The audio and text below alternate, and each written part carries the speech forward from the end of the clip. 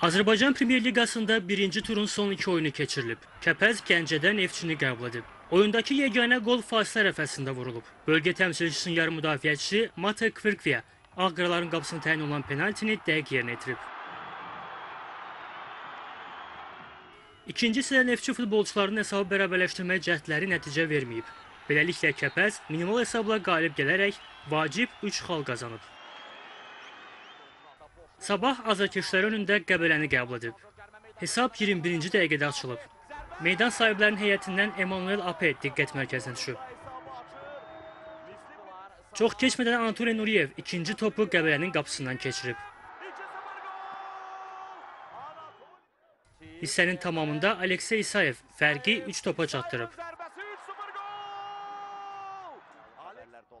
Fasilədən sonra Sabah futbolçuları daha iki dəfə rəqib qapısına yol tapıblar.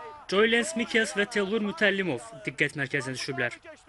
Sabah Qəbələ 5-0.